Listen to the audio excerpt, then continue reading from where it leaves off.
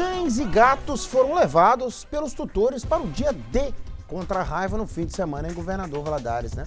Mais de 60 pontos de vacinação foram instalados para que os pets fossem imunizados contra a doença. Nossa equipe acompanhou a reportagem aí, balança.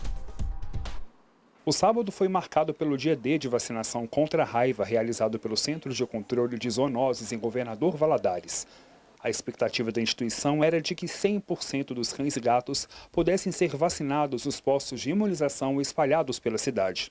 A gerente de epidemiologia Maria Diane Figueira falou sobre a importância da ação. O Centro de Controle de Zoonoses realiza a campanha todo ano, orienta né, as pessoas a levar seus animais para vacinar, cães e gatos acima de três meses. Então é muito importante que, a, os tutores né, tomem essa decisão e levem, porque é uma proteção, porque a raiva é uma doença infecciosa é, com 100% de letalidade. Heitor é tutor do TED.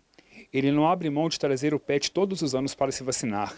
O estudante tem a consciência de que a vacinação protege o animal de estimação contra a raiva. É muito importante porque, além da raiva ser uma doença muito grave, nós podemos ter certeza que eles, eles nunca vão nos abandonar, porque eles são nossos amiguinhos verdadeiros. Então, quem ama, cuida.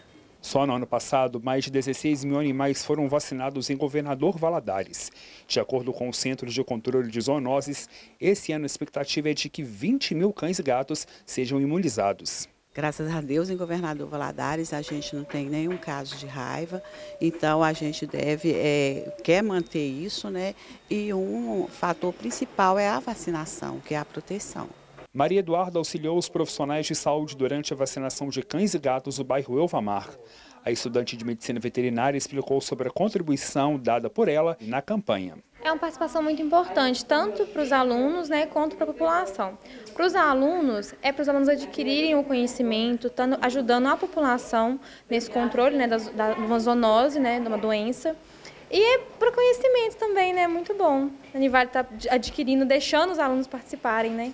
Quem não compareceu ao dia D de vacinação contra a raiva pode entrar em contato com o Centro de Zoonoses e agendar a vacinação em domicílio. Quem não puder, por algum motivo, é, liga para a zoonoses, o Centro de Controle de Zoonoses, eles vão orientar e depois pode uma equipe passar na casa desse morador.